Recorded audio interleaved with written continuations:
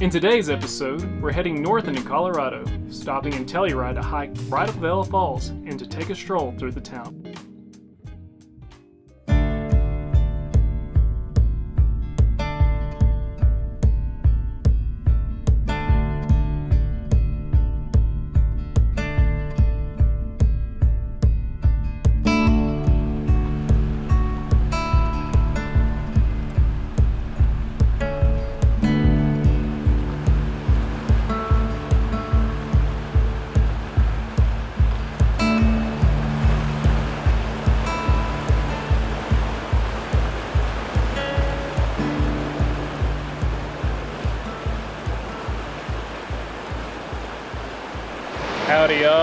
Morning. We're in Colorado. On the Dolores River right behind us. So we're very close to Telluride. We have been to Colorado so many times for the summer, but we have never been to Telluride. So we're excited to go explore it today. And I gotta admit, I'm trying to still get used to elevation. We have now climbed up to 9,200 feet, and I feel it a little. I'm starting to get kind of acclimated, but I did get a little lightheaded when we came here yesterday. And just the temperatures, it is a lot cooler up here. I think last night it got down to the 30s. And I have shorts on right now only because we're in the sun. If we were in the shade, I would have pants and probably long sleeves on. So we found this camp spot when we came in yesterday, we drove into town, scoped it out, then we drove back over here, found this camp spot. It is right off this main highway, but most of the camp spots around here are gonna be right off the main highway unless you drive way up into the mountain and you get into higher elevation where it is going to be colder. Now, we might do that tonight. We have several other spots picked out that we might go to. And I know we said a few vlogs ago,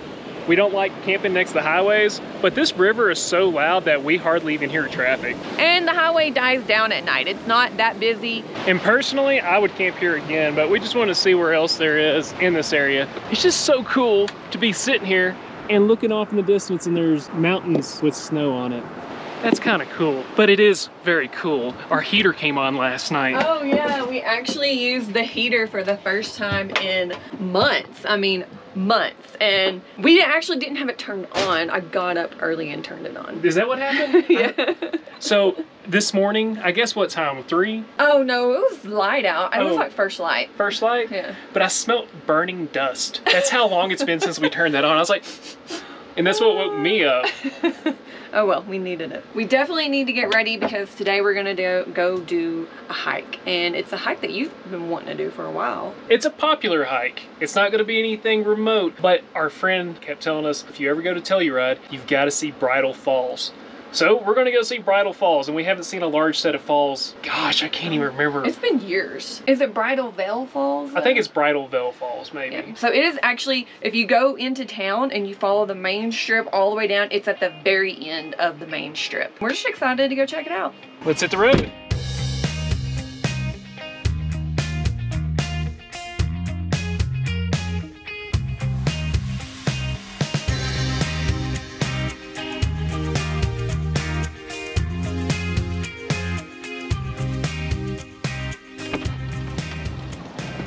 Made it and it is really crowded. I knew it was gonna be a little crowded, but we had to park way down here. The parking is a little bit further up, so we're gonna hike longer than a mile. It's only a mile up to the falls, they're, they're way up there. And then it's a mile back, so it's gonna be a two mile round trip. However, we might have added another quarter of a mile, so it's not a big deal. At the base of this mountain is an old mining company, and that is exactly how a lot of these mountain towns like Telluride are founded was because people would come here and mine for minerals, copper. I'm not real sure what they had over here, maybe copper. I think that's a big one around here.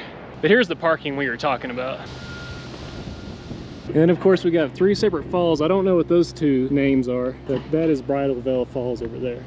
And if you can see at the top of those falls, there's actually a power plant up there generating its electricity from that waterfall. And I think the town still uses that electricity. Shirt now. You want to go ahead and put it up? Yeah. She was wanting something to keep her warm when we were getting out of the truck. The wind was just cuts like icicles. Okay. Already out of breath. Well, she could find a way.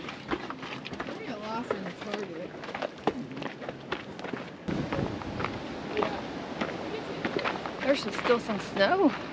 Yeah. Which we, oh my God, which we saw it, but I don't know if we're gonna be hiking past it. Kind of cool. So I haven't even told you anything about this trail. Y'all's mind might be blown. It's only one mile up to the waterfalls or the base of the waterfalls. And in that one mile, we're gonna gain 800 feet. We'll be starting the hike at 9,071 feet. And at the base of the falls, we'll be at 9,872 feet. But the waterfalls themselves, up to the top, honey, I'm starting to get right there with you. Whew. But at the top of that waterfall is 10,279 feet. There's a lot of a lot of numbers there. Whew.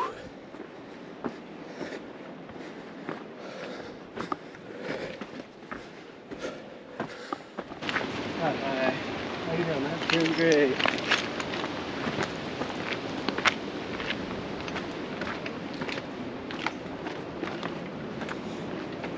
Gotta check out this flower right here. Look at this.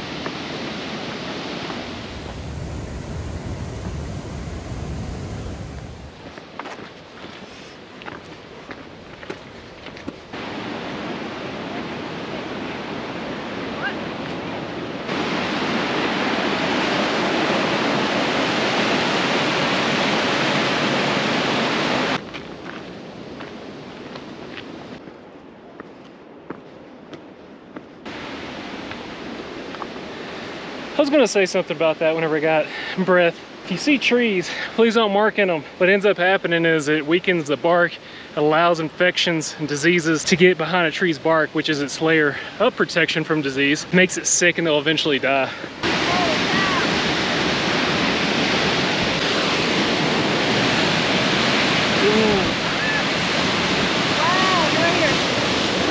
That's awesome. I like them in a car wash. Awesome.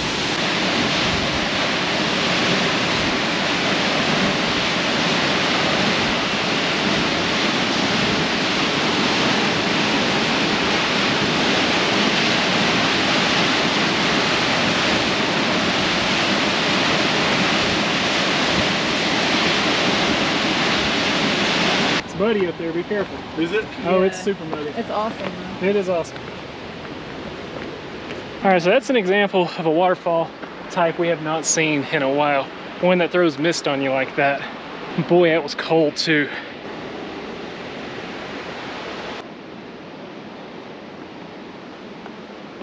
We're getting up to the top of the lower falls.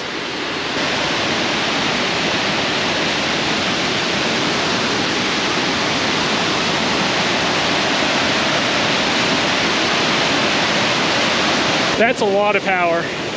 No wonder there's a power generation plant up there.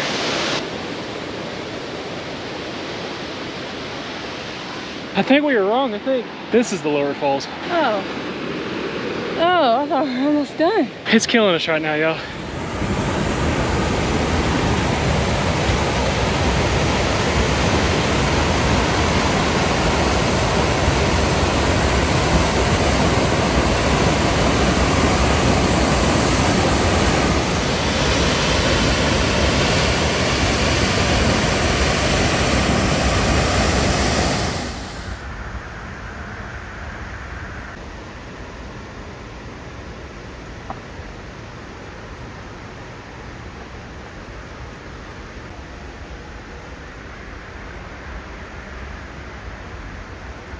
My ears are starting to pop. How are you feeling back there? Out of breath. I'm very hungry. I'm starving again. I'm starving. We don't ever eat lunch. I'm starting to think it has something to do with altitude. I mean, I We ate a decent little breakfast this morning. We had crepes with bananas and hazelnut spread. And remember, y'all, this is only a mile one way. Whew. I feel like we've been at it for like an hour. I guess we just need to stay in higher altitude longer. What's really crazy about these falls is when they freeze over in the winter, ice climbers come here with those little picks Dude, and then they have the, the shoes with the picks on them. I would love to see that. I would too. I wouldn't want to do that. No, I'd do it. I'd do it. I would. Of course, the town Ouray on the other side of the ridge here also hosts ice climbing. It would be so cool to see. He's friendly. Hey. He also might slaughter all of you. Whew.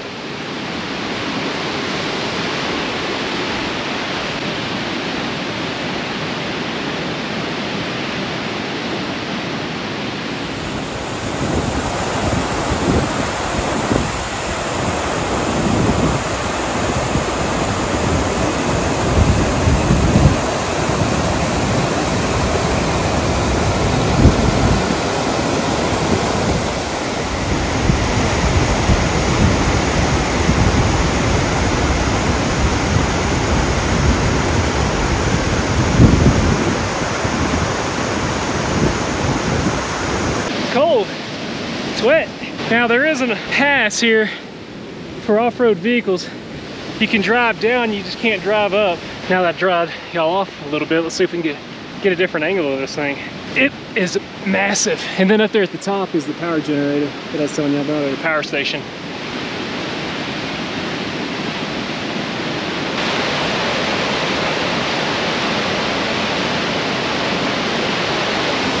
That is so cool, so cold.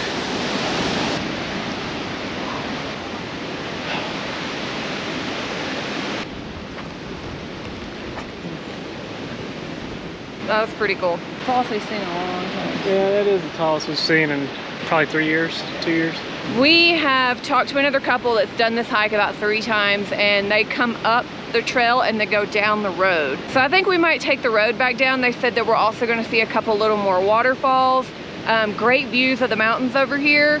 Uh, it is a Jeep trail or an off-road trail. It's a one-way.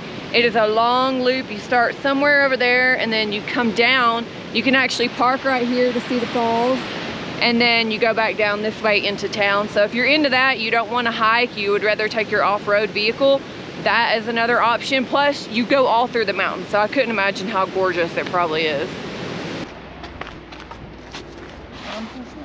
I'd like to touch it. And there's a car coming out. Yeah. Oh man, this is gorgeous. Wow, look at that view.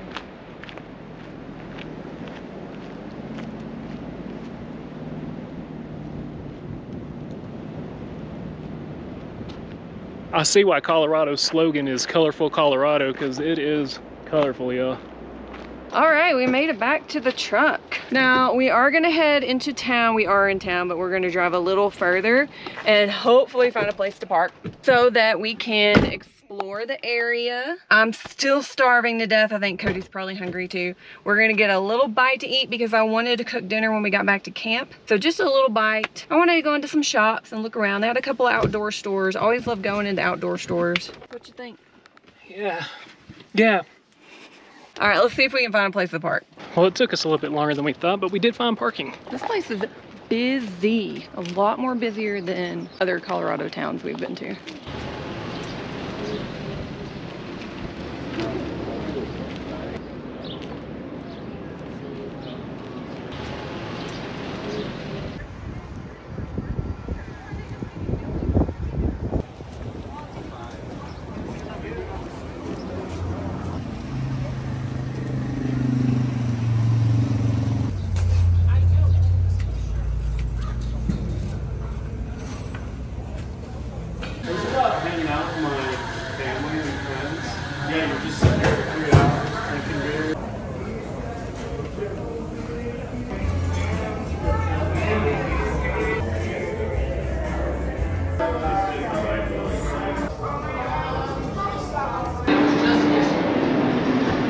Had to get a snack even though Kellie's cooking. We are so hungry, but I'm fine now.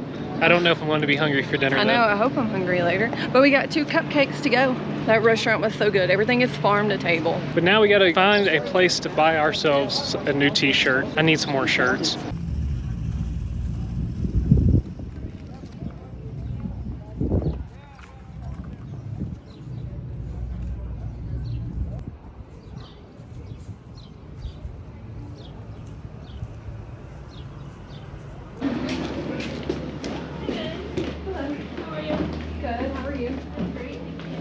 What about this one? That's a cool color. That is a cool color. I like that one. Thank you. Yeah, Thank you guys so much. I'm crazy. Let's see. Good, how are you? Well, I had to stop in a fly shop and I didn't record anything because I got sidetracked. Got me some new flies and I might try fishing while we're here. These little fellas right there. Am I gonna fish today? No. Am I gonna fish tomorrow? Probably. I don't know. Well, depends on if we get a campsite by water, Yeah, because we might not get that same spot again. you're right. Dolores. I'll think about it. I've got some time to think because we can uh, get a fishing license online too. The cool thing about the fishing license is you can just go online and, and get it. You don't even have to go into a store. Will you put this in there? Will do. Maybe can fit right there like a glove.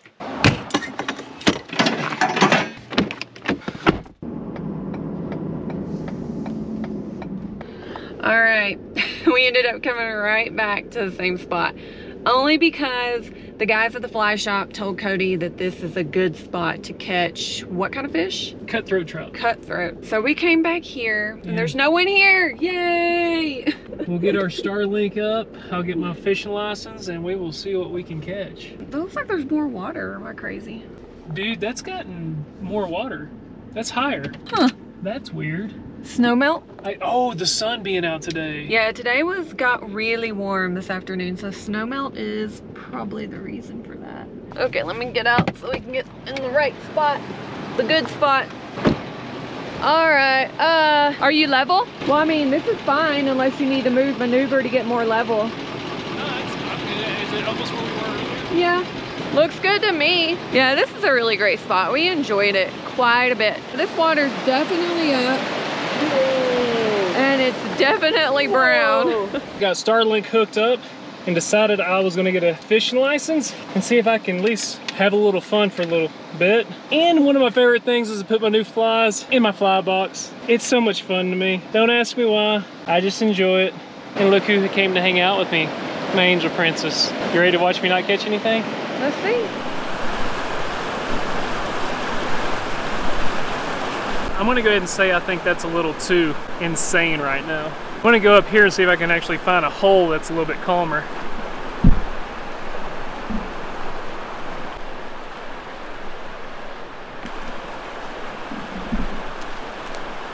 I don't think there's gonna I don't think there's gonna be anywhere calm for me to fish at.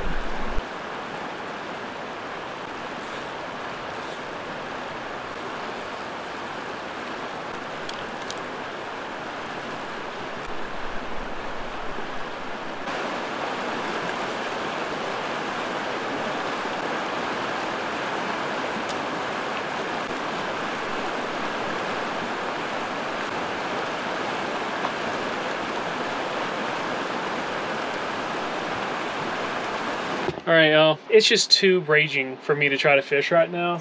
There's, I can't even I don't know. It's just not even feasible. I think this was a bad call on the fishing part. But look what Kellie did while I was trying to fish. Look how cozy she is. She's already downed a half of a cupcake. Mm-hmm. I'm picking out. Just enjoying a little telly, Yeah, I decided I'm not cooking dinner tonight because it's like seven o'clock now. We're not hungry anyway. but a cupcake does sound pretty nice. And I guess we're splitting the cupcakes. Is that what we're doing? Yeah, I'm cool with it. But tomorrow we're going to be heading to a new location and we'll catch you on the other. See you next time.